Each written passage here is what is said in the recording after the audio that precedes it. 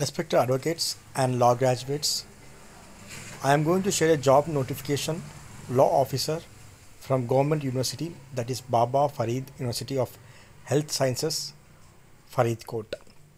Please subscribe to this channel for daily job notifications for the advocates and law graduates. And please share the videos with your friends for the benefit of the all the advocates. Online applications are invited from eligible candidates through university website that is www.bfuhs.ac.in. This is a university website for the recruitment of one general of law officer under Department of Medical Education and Research, Government of Punjab. For eligibility and other details, please visit the website. I also going to discuss on eligibility terms and conditions other information in this video. In the reference to memo number 3ME2PB 2022 16581 dated 28 6 2022 and memo number 3ME2PB 2020 3103 dated 26th February 2020 issued by Director Medical Education and Research Government of Punjab the qualifications and experience for this post master's degree in law from recognized university. That is you should have an llb plus llm so you should be having a llm degree.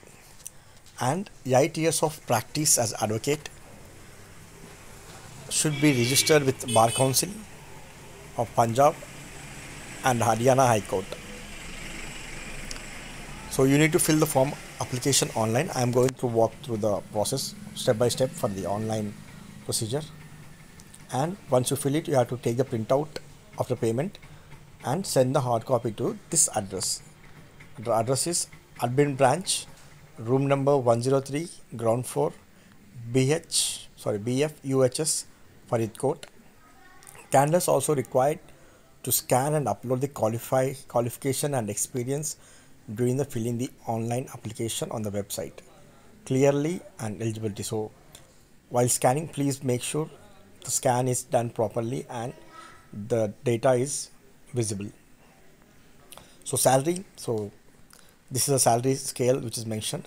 So basic pay 47600 da 18000 hra 12000 ta 3600 da on ta 1368 and gross salary is 83508 so how to apply?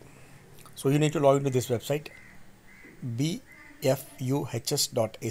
and you have to go to jobs and career. So i have just took the screenshot and highlighted the links where you have to go. So you have to click on jobs and career. It has two options university jobs punjab Punjab government recruitment. You have to select Punjab government recruitment. Once you click on that, this page will come up. So this is the job notification which we are going to apply. Click on that name. It will open the page like this. First thing is you have to register. Click on registration. You can also see the official notification on this page. So you can click on the registration and to open a page like this so it will give the steps what are things going to happen like fill the form upload the photo and signature and log the application print the application and download admin card. So once you register please store the id and password. Click on the proceed next. So it will open a page like this. You have to give the details. So which post you're applying law officer and candidate candidate name father name category for post. Fee is 1770 rupees including gst and you have to give the gender you have to give your permanent address and correspondence address Aadhaar card number mobile number domicile status email address and your photograph passport size photo and academic quali qualification that is llm anything extra you have you can mention that. Total marks for LLM and how many marks you have secured those things and number of experience you have to mention here in government sector how many years private sector how many years total how many years? And your bar council registration number? Then did you pass the senior secondary part examination or equivalent from the recognized university? It's a big default test. Marital status married unmarried. Nationality indian. Passed punjab language under matriculation standard yes or no? Are you in government service? If yes you inform your department are you ex-serviceman means you have worked in army or defense or navy? Have you ever been qualified disqualified? Have you convicted by a, any criminal court? Whether any criminal case was ever registered against you? Do you possess requisite qualification? Save and proceed.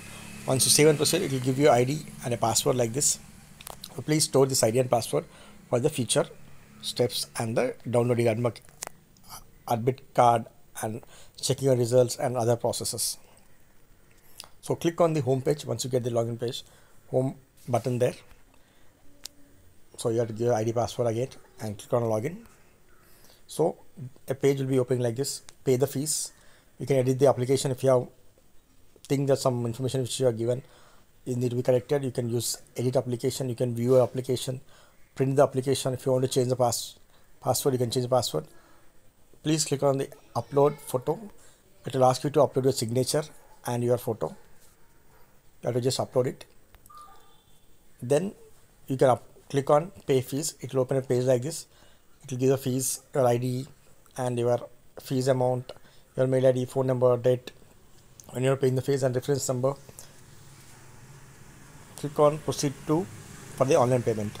So they have a lot of options to pay the fees debit card credit card online banking.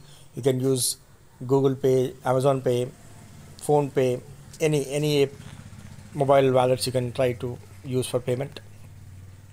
Once it is payment is done that is 1770 rupees you can log the application or else if you are not doing it it will be automatically logged on the last date.